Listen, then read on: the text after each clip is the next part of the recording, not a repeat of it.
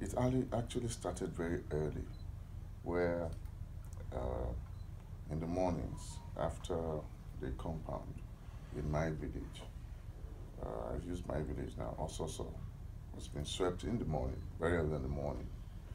The gardener will sweep the entire compound, and it has this very smooth,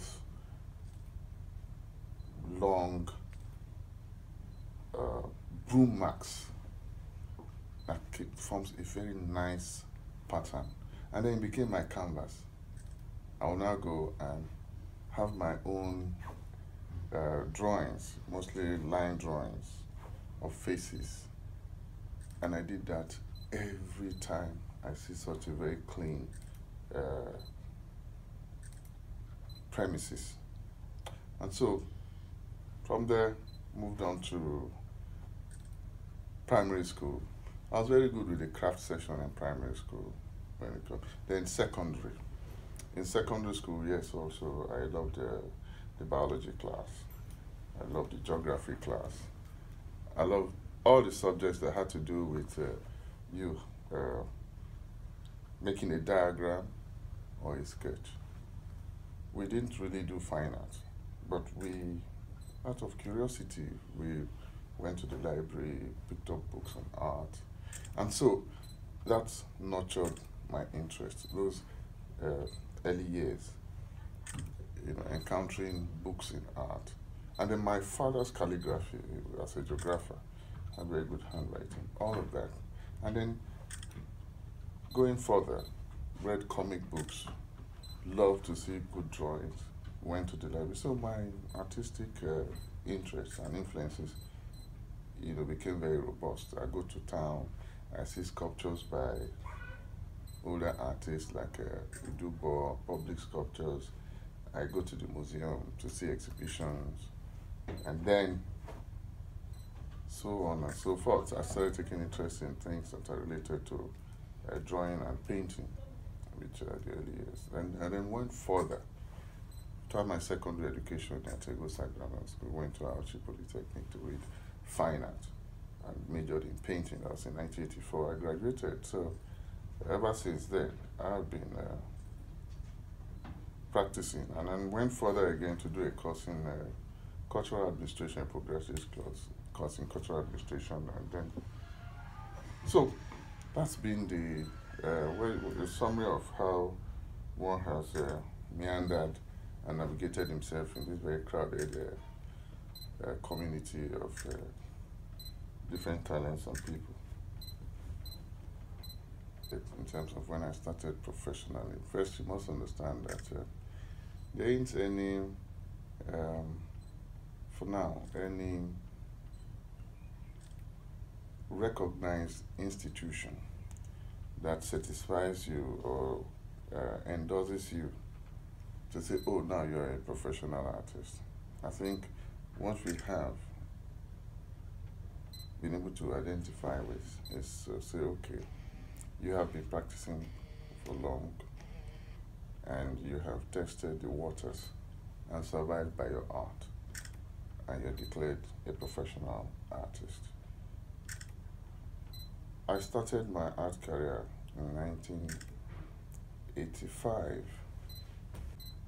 That brought me to do commissions, embellishments, portrait painting, just like any other starter, where you do a whole lot of things, group shows.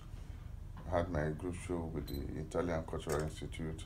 I had a group show in 1988 at the National Oil and Chemical Marketing Company. I've had group shows and then went uh, further to do a solo show at the uh, German Cultural Center, the Goethe Institute. That was around 1990. 94. But the challenges I faced as a professional artist most times has been um, having to navigate the economic waters and also at the same time having to consistently uh, try to educate uh, people, collectors now, and the public about what you are doing. It's uh, sometimes for my kind of art, which is uh, which uh, I would say is a bit uh, not, um, permit me to use this expression, not uh, art for just anyone. You have to be a bit cerebral. You have to be a bit, you know, acquaint yourself with other forms of art, not just basic picture making art.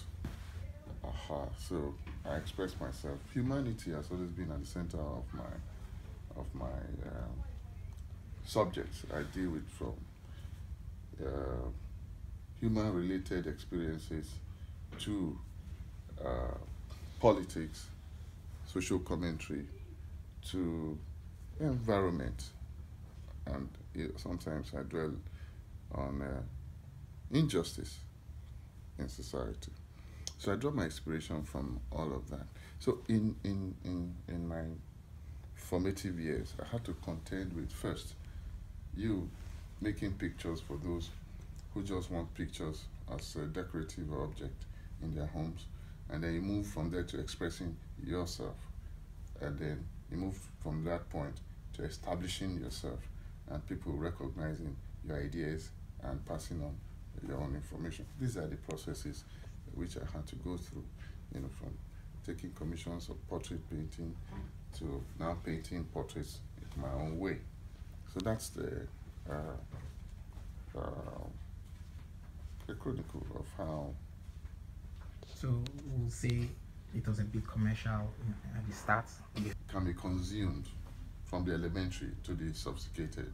Yeah, understood by by the layman. Yes, something. That's why I say something elementary, with all due respect to, to everyone who is, but something very basic, something just picture making that hasn't gotten any uh, need for you to be schooled on the artist statement or anything to uh, understand.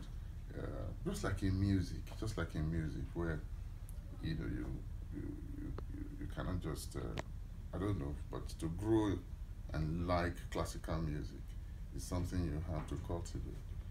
You know, otherwise it's easier to consume something that is very easy to dance to um, deal with reading, but more.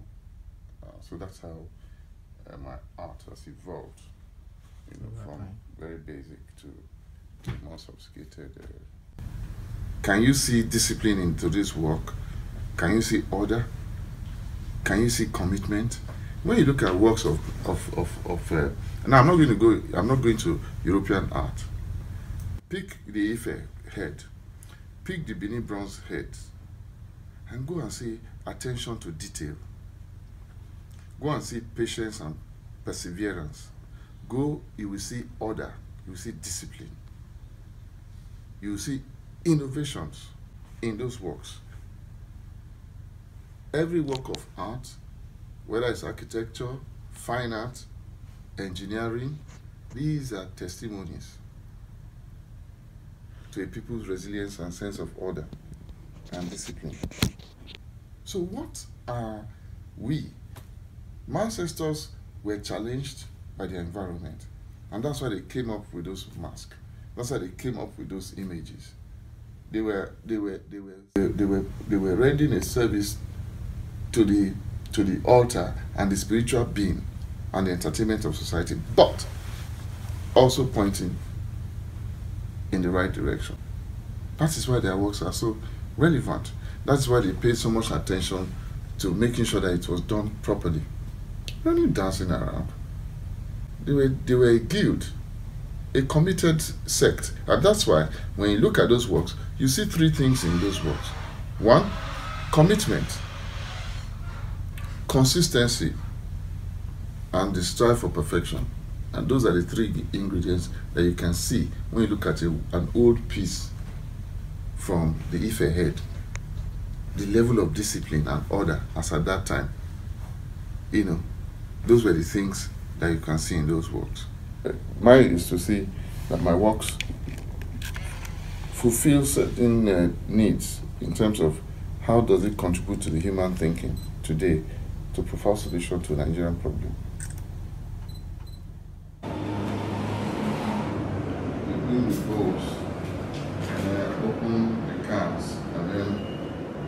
Start going wild. Yeah, going wild. Move all these tables to that side. The, the studio changes, you know.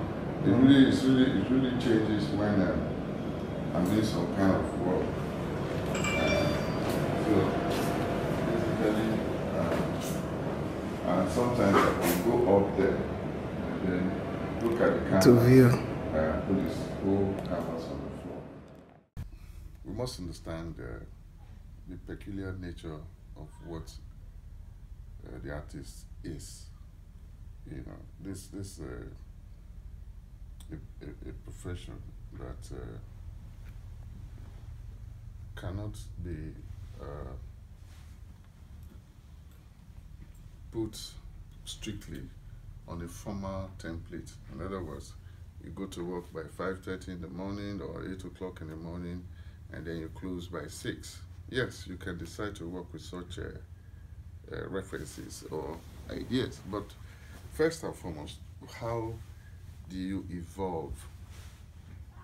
Because these things, they evolve. You start from, for me, you know, as a bachelor, I had my studio in my room. The old house was my painting studio. I didn't really bother to separate the living room. Yes, that was uh, tolerable and understandable as a bachelor. And then artists become, there was no night, there was no day. You painted at any point in time that you feel like painting, and there are days you just retire and you're in your bedroom, you don't come out, just listen to music. But at that point, you're still working because as you're go- walking to the kitchen to pick up something, you look at your canvas or you retire to your room and you go and take something. It's all part of work. Now you get married and you have children. Of course, you're looking at uh, a life that is uh, going to be split. And so I usually recommend that let your studio be away from the house so that you can separate.